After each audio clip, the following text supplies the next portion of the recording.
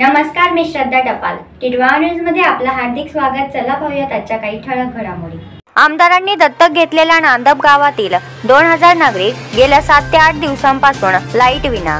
कल्याण पश्चिमचे आमदार विश्वनाथ भोईर यांनी नांदप गाव दत्तक घेतले.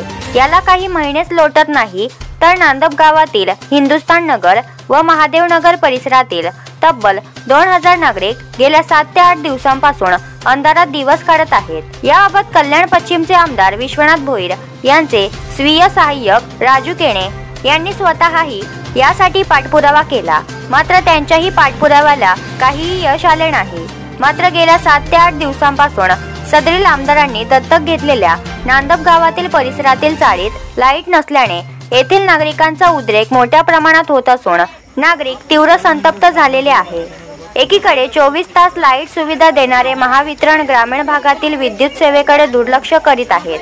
त्यातच कल्याण पश्चिमचे आमदार विश्वनाथ भोईर यांनी दत्तक घेतलेलं गाव अंधारात अशी भयानक परिस्थिती निर्माण झाल्याने नागरिकांनी कुणाकडे हात पसरावे असा यक्ष प्रश्न निर्माण होत आहे.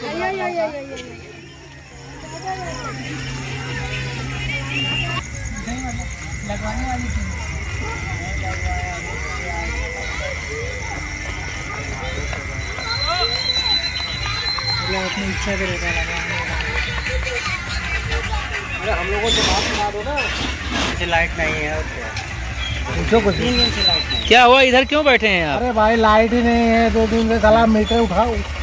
अगर एक दिन लाइट बिल भरने को लेट हो गया ना तो मीटर उखाड़ के लेके जाते साले लोग। ये कुत्ते लोग को क्या बोलने का? चार दिन से लाइट नहीं इधर। चार दिन हो गया आज। तो आप चार दिन से कैसे रह रहे अरे हैं? कंप्लेन कर रहे हैं कोई कम- कस्टमर केयर का कोई कंप्लेन उठाता ही नहीं है। कौन ही नहीं उठाता कोई मतलब तो आपका कोई सुनवाई नहीं हो रहा है। कुछ नहीं हम लोग एकदम पागल के जैसे इधर पड़े हैं। आप यहाँ क्यों बैठे हुए हैं?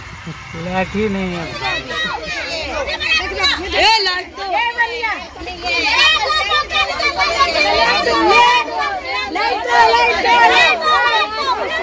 क्या भाभी आप इतना रात को क्यों परेशान है इतना?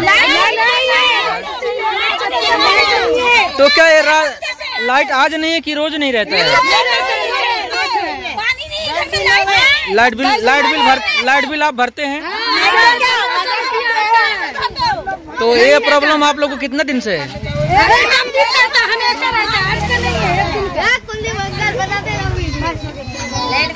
अंकल आप यहाँ इतनी रात को क्यों खड़े हैं? अरे लाइट नहीं है तो क्या करें? लाइट बोलो कि लाइट लगाने के लिए। है लाइट है ही नहीं तो क्या जाए? घर में रहेंगे मच्छर काटेंगे। ठीक है ठीक है। हम अपने इस वीडियो के माध्यम से हाँ। प्रशासन तक पहुंचाते हैं आपकी बात को। बोलिए आप कुछ कहना चाहेंगे? हाँ भाई लाइट नहीं है वो लाइट का समस्या है।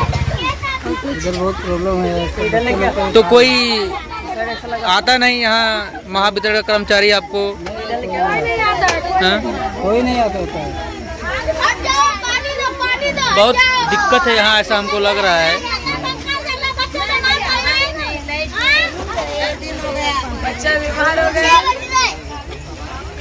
तो आप कहाँ से आए हैं? यहीं पर रहते हैं कि कहीं दूर से आए हैं? मैं इधर रहता हूँ सर।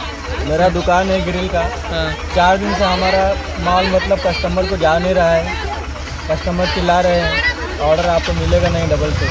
क्या करूँ? बहुत परेशान यहाँ पर हमें लगता है कि एक हफ़्ते से लाइट का बहुत प्रॉब्लम ऐसा लोगों का कहना है। हाँ एक हफ़्ता हो गया एक हफ़्ता से समझो थोड़ा आता भी था लेकिन चार दिन से एकदम लाइट आ ही नहीं रहा है। बहुत सारा प्रॉब्लम है। तो यहाँ बहुत दिक्कत होती रहेगी जहाँ तक मुझे ऐसा लग रहा है। बहुत दिक्कत देखिए बच्चे को भी बहुत तकलीफ़ है सोने का टाइम है लेकिन बच्चा अभी जाग रहा है। क्या करें? नींद ही नहीं आएगी है गर्मी है ऊपर से तापमान अधिक है और लाइट भी नहीं है। उधर छोटे छोटे अभी अभी अभी बराबर अभी।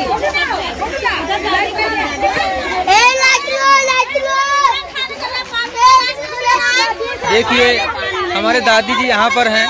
दादी जी आप कुछ कहना चाहेंगे? हम ये कहेंगे कि हमारी लाइट नहीं है अंधेरे में हम खाना कैसे बनाएँगे सही बात है। और इस उम्र में भी अगर इंसान सोएगा नहीं तो इंसान का सेहत भी खराब हो सकता है। अरे मैं बीमार हूँ तो ये बहुत लाइट नहीं है फिर भी पानी नहीं है। आदमी लोग ड्यूटी जाते बारह घंटा खट के आते सही बात है सही बात है। तर या होत्या आजच्या काही ठळक घडामोडी. उद्या पुन्हा भेटू याच ठिकाणी. धन्यवाद.